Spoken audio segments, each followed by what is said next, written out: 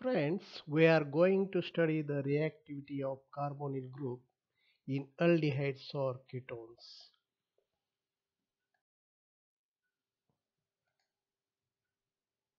So first let's see what is the polarization of carbonyl bond. Now in carbonyl bond there is a presence of carbon and oxygen. There is a presence of double bond between carbon and oxygen. And we know that oxygen is more electronegative than the carbon. Therefore, the one of the electron pair present between the carbon and oxygen get attracted towards the oxygen atom and therefore it gets negative charge whereas carbon gets positive charge.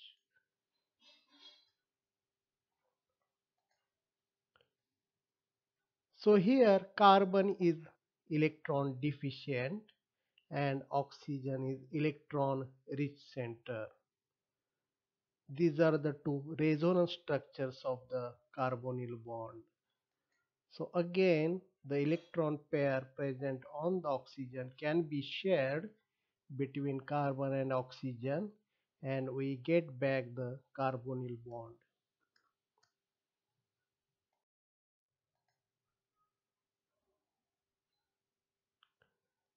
Now we will see the nucleophilic attack on carbonyl bond.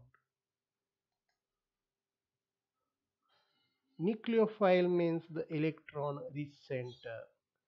The lone pair of electron present on the nucleophile or the excess electron pair can be donated to the electron deficient carbon because we know that carbon is uh, positively charged whereas oxygen is negatively charged.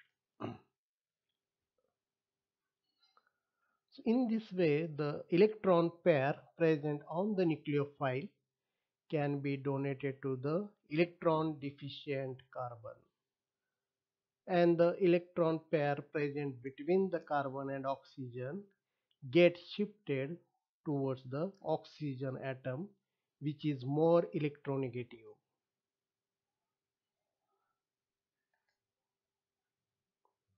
The bond between the positively charged carbon and the nucleophile is formed and you can see here the formation of bond between the carbon and nucleophile.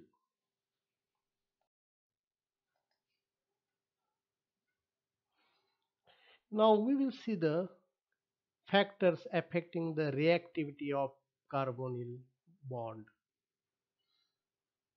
So first factor is the steric factor. Now steric means here the bulky nature of the atom or group. We will see the examples. The first example is formaldehyde. Second example is acetaldehyde. Third example is acetone. Now we will see the structures of the formaldehyde, acetaldehyde and acetone. Now you can see here the atoms or group present around the carbonyl group. In formaldehyde, two hydrogen atoms are attached to the carbon which are small in size whereas in acetaldehyde one hydrogen and one methyl group is attached to the carbon of the carbonyl group and in acetone two methyl groups are attached to the carbon of the carbonyl group now the size of the methyl group is greater or bigger as compared to the hydrogen you can see the structures of formaldehyde, acetaldehyde and acetone. In acetone, two bulky methyl groups are present. In acetaldehyde, only one methyl group is present. And in formaldehyde, two smaller size hydrogen atoms are present. So whenever there is a nucleophilic attack on the carbonyl group, the size of the sub size of the, these groups are very important.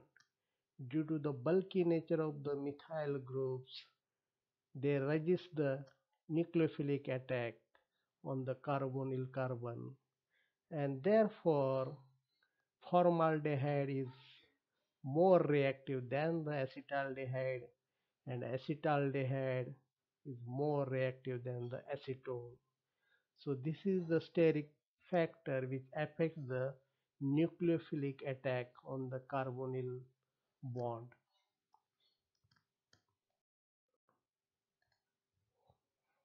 There is another factor called as electronic factor. To study the electronic factor, how it affects the reactivity of carbonyl group, we will see the following examples. That is the formaldehyde, acetaldehyde, and acetone. Now in case of formaldehyde, two hydrogen atoms are attached to the carbon of carbonyl bond. In case of acetaldehyde, one methyl and hydrogen groups are attached to the carbon of carbonyl bond. And in acetone, we see the two methyl groups are attached to the carbonyl carbon. If we see the electron releasing nature of the methyl group, then it gives the electron density towards the electron deficient carbon of the carbonyl bond. Now in case of acetone there are two methyl groups which are releasing electron towards the carbon for electron deficient carbon of the carbonyl bond and therefore it becomes less reactive. In case of acetaldehyde only one methyl group is present but it is also the electron releasing group and therefore it also reduces the reactivity of carbonyl bond. But in case of formaldehyde two hydrogen atoms are there and they are not electron releasing groups.